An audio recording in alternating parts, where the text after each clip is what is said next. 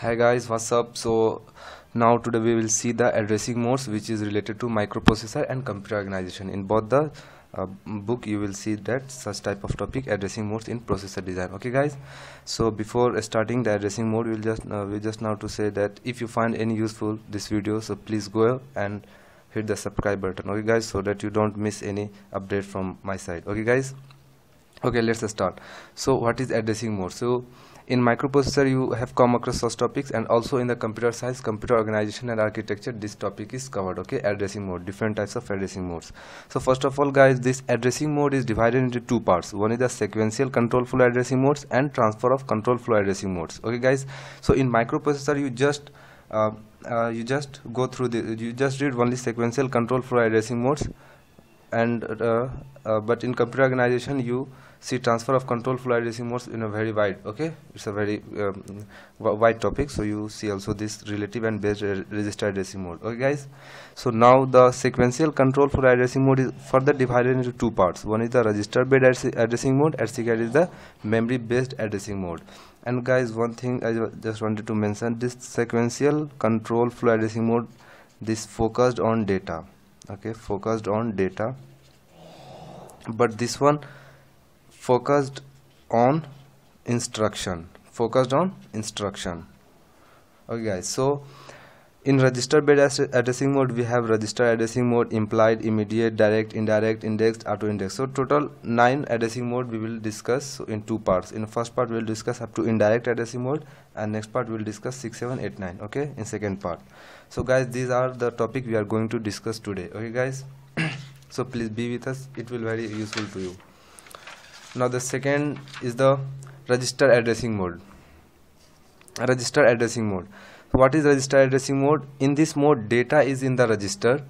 The corresponding register address is maintained in the address field of the instruction. So guys you have seen the data is in the address field in this guys. So suppose this is the instruction design opcode and address. So what this address will give? This address will give nothing but the register name r0 or r1 and according to that data will be present in that register. So in address field the what will be the effective address? Effective address is nothing but the address field value. Whatever the address field value? R0 r1 and if you go at particular place r0 r1 your data will be present. So that is the register addressing modes.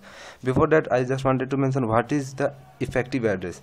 Effective address is the address where your data is present effective address is the address where your data is present. So suppose your data is present here. So effective address is corresponding address. So r1 at the place of r1 your data is present. So what will be the effective address? Effective address will be r1 okay guys?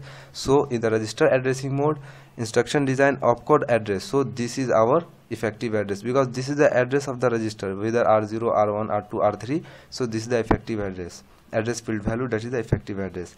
So where register addressing where it is used. It is used for accessing local variables. Okay guys so you might have seen somewhere that also in a c program like uh, uh, c program that integer a b c. So in such type or you you might know so this is actually a static variable but you might have also sometime that register you initialize the register and you store such value there. So there this register addressing mode is used. Okay guys? So this is our our first register addressing mode opcode address this is the effective address r0 r1 where our data is present now second one is the implied addressing implied or implicit addressing mode देखिए guys ये क्या है implied or implicit in this mode data information is present in the opcode itself so data know where it is present it is present in the opcode itself what is opcode opcode is nothing but any instruction which says uh, which, which says some operation to do like the add subtract push pop is all are the what these all are the opcode. But what is what happens in implied the uh, the data is present the, in the opcode itself. Suppose if you do stc if you if you have done the microprocessor lab so you might have done some clear memory clc stc so set carry.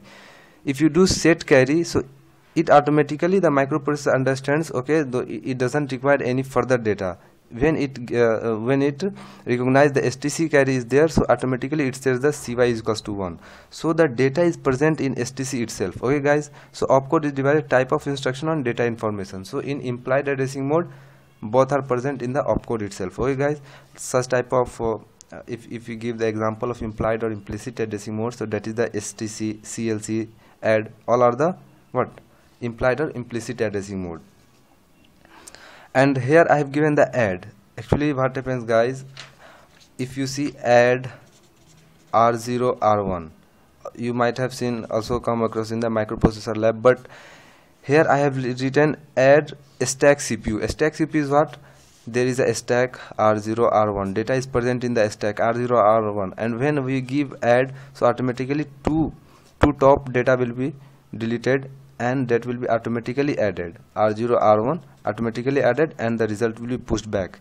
So these are the stack CPU I have given the example add okay guys? And now one note is there. So you just all the zero address instruction are designed with an implied addressing mode. What is zero address instruction? Zero address instruction means there is only the opcode no data. So you see here only the opcode is there there is a no address field. Only opcode is there no address field. But in a previous example we have seen that there is opcode but also there are address fields so this is not uh, uh, this is so this is one address instruction. And this is this is zero address instruction because there is no address field. Okay guys so this was our implied or implicit addressing mode because the data is present in the stc clc stc means set carry clc means clear carry add stack cpu so all the zero address instruction are designed with a implicit addressing mode. Okay guys? Now the third one is the immediate addressing mode immediate addressing mode. This addressing uh, this mode is used to access the constant. Okay guys so this mode is used to access the constant. In this mode data is present is in the address field of a, a instruction. Okay guys so कभी कभी क्या होता है guys कि हम automatic plus one plus two twenty three जैसे मैंने यहाँ पे एग्जांपल दिया add R zero twenty three means I am saying that to add twenty three in the register R zero means I am directly giving some constant to add to the R zero so such type of instruction use the immediate addressing board okay guys so what is the instruction design of code and address and this address stores nothing but your constant data okay guys so suppose add are zero uh, a constant value 23 this is our source 2 this is our source 1 as well as our destination. This is plus. Okay so this is registered addressing mode. I have already uh, uh, this we have already discussed in the register addressing mode and this is our s2 this is nothing but immediate addressing mode. Okay guys? So at this when address 23 will be present automatically that 23 will be added. Okay? So this is the direct immediate. The data is um, present immediate to the address field. Okay directly to the address field. So that is the immediate addressing mode. Not immediate addressing mode is always used as only source address. One thing to remember suppose hash 23 this only can be used as a source uh, source address. We, we cannot use this 23 as a destination. If you you, you use uh, 23 at this place so suppose after addition where that uh, information will be stored? 23 is only the data. It's not the address of the memory. Okay guys so 23 can only be used this immediate addressing mode can only be used as a source address not as a destination address. This is also a good question okay guys. Uh, mcq it could be.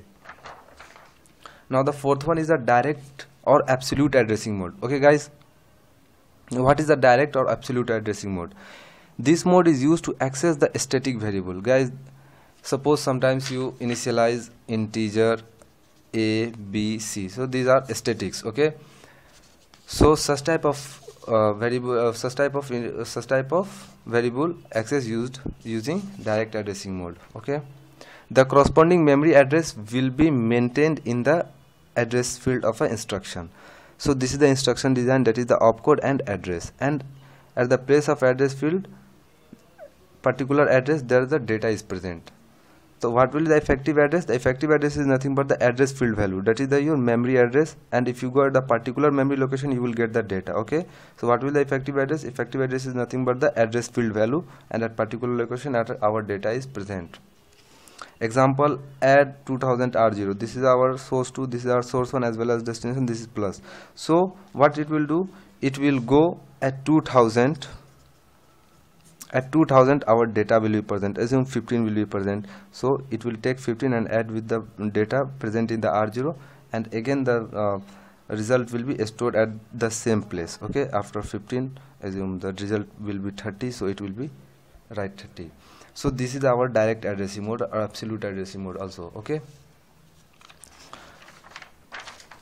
Now the fifth one. Fifth one is the indirect addressing mode. What is indirect addressing mode if you have understand the direct addressing mode so just you need to uh, step one more that is the indirect addressing mode. So guys you need to know where this indirect addressing mode is used. This mode is used to implement the pointers. Guys you must have known about the good concept in a c called the pointers which is used to pointing the uh, address of the memory. Okay guys? In this mode address field of the instruction contain address of effective address. Okay guys? So here uh, two steps is there to reach to the data. First of all in this address field you will you would get another address. And if you go to that address then you will get the data. Okay guys so two step is there. So in a first address field if you go there inside there will be another address of the another address where our data will be present. And if you go that address then you will get the particular data. So what will be the effective address?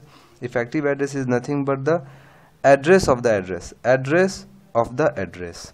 Okay so suppose you go at this particular address then you will get this. And if you go this particular this is also the address. And if you go to this particular address then you will get the data. Means two steps with the same concept as the direct addressing mode. So example like move at the rate 2000 so this is the sign of indirect addressing mode at the rate r1 so at the place of 2000 so I, I, I will explain this. Suppose 2000 is our address okay?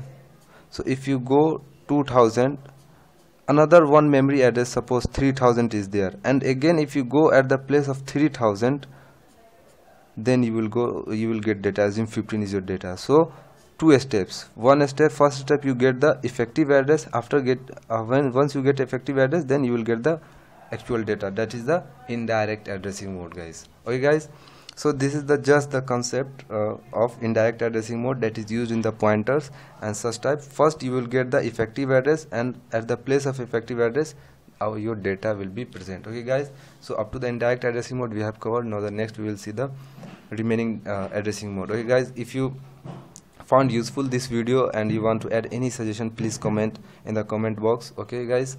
Thank you for watching